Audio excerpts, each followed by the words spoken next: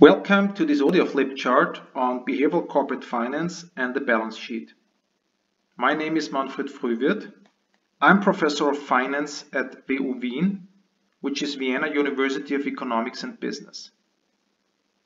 The purpose of this audio flip chart is to illustrate the structure of behavioral corporate finance and to link it to the structure of the balance sheet. On this flip chart, you can see the typical structure of a balance sheet. On the left hand side, you have the asset side. Here you put all the assets existing in the company.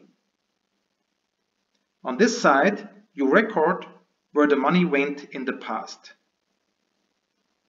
Usually, these assets are grouped into fixed assets versus current assets. On the right hand side, you have the liabilities and equity side. Here the company collects all the financing instruments used. On this side, you record where the money came from in the past. Usually these financing instruments are grouped into equity, symbolized by E, versus debt, symbolized by D. Now let us draw the link between the balance sheet and corporate finance, especially behavioral corporate finance.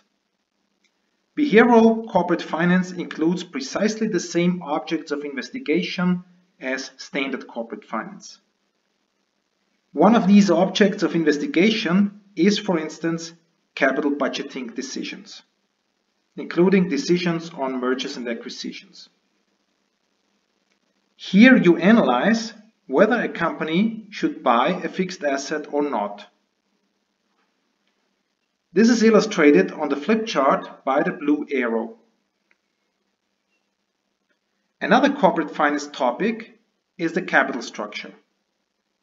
This part of corporate finance deals with the mix of debt and equity. This is illustrated on the flip chart by the green arrow. Other objects of investigation are, for instance, whether a company should issue new stocks, whether it should repurchase stocks from the market, or how much dividend the company should pay out to the shareholders. All these decisions are related to the equity part of the balance sheet.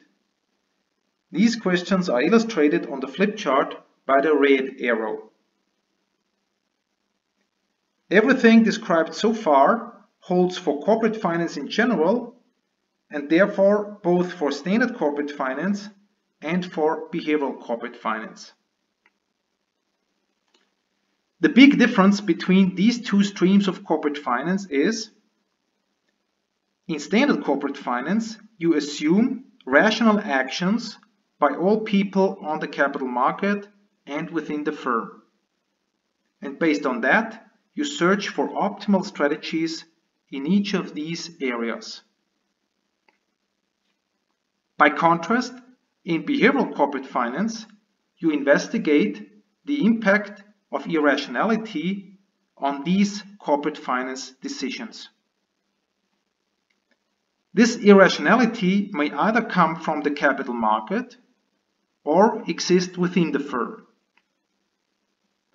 Irrationality on the capital market especially includes the irrationality of investors or other parties on the side of the investors, like analysts or rating agencies. Irrationality within the firm particularly includes the irrationality of managers. As is shown in scientific literature, the introduction of irrationality in corporate finance decisions is able to explain many puzzles that we can observe in reality but not explain in a standard corporate finance framework.